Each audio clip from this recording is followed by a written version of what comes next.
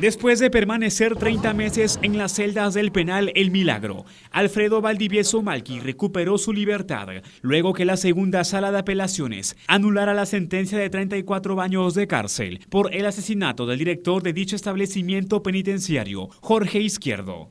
Tras los barrotes se convirtió en un seguidor de la palabra de Dios. Gracias a Dios que en ese lugar llegué a conocer a Dios y se hizo justicia, como lo volví, como les dije a los policías desde un inicio y a los fiscales, al fiscal, perdón, Cajamarca Porra, Cajamarca Reinaldo y, y a los jueces que era inocente de todo lo que se me acusa.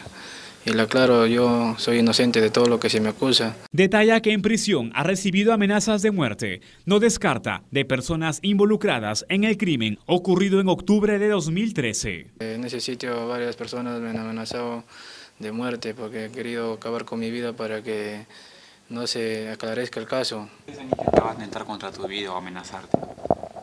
Eh, pues varias veces me han dicho así de palabras. Eh, que me iban a dar veneno a la comida y me iban a llevar a Chayapalca y iban a quitar mi vida.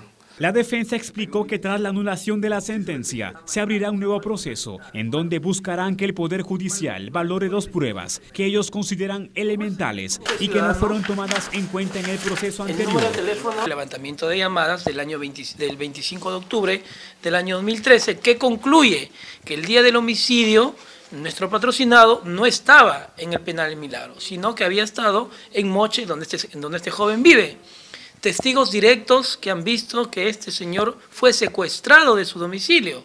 Incluso denuncia que hubo una manipulación de la investigación por parte de la policía y de la fiscalía, quienes en un inicio se indicaron como el autor del crimen a Santos Valdivieso, primo de Alfredo. Miren el señor fiscal, ¿ah? ¿qué le dice el señor fiscal al juez?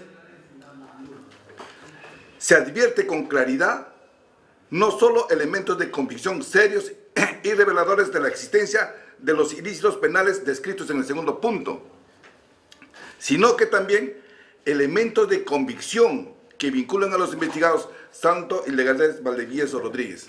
Como ya vieron que el que, el que supuestamente había matado, el señor Santos y era un inválido que no podía correr, entonces ¿qué hicieron? Agarraron aquí al señor Valdivieso Malque. Alfredo asegura que si la justicia ratifica su inocencia, estudiará derecho para defender a los reos que purgan condena injustamente.